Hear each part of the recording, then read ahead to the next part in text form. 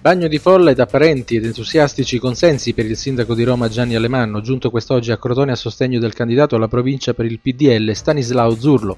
Alemanno, durante l'incontro con la stampa e i cittadini avvenuta presso la sala consiliare del comune di Crotone, si è detto convinto di una prossima affermazione elettorale del centrodestra contro il continuismo rappresentato dal centro-sinistra ed il suo candidato Ubaldo Schifino. La Calabria merita un indirizzo diverso dal punto di vista politico, il centro-sinistra ha fallito tutte le aspettative e soprattutto io quello che voglio dire ai calabresi da sindaco di Roma è che non è vero che mancano le risorse, non è vero che il governo ha levato spazi e possibilità possibilità al sud. È vero che mancano i progetti, i progetti devono essere fatti dalle regioni del mezzogiorno che sono tutte governate dal centro-sinistra e quindi oggi bisogna cambiare area, in Calabria come in Campania come in Puglia.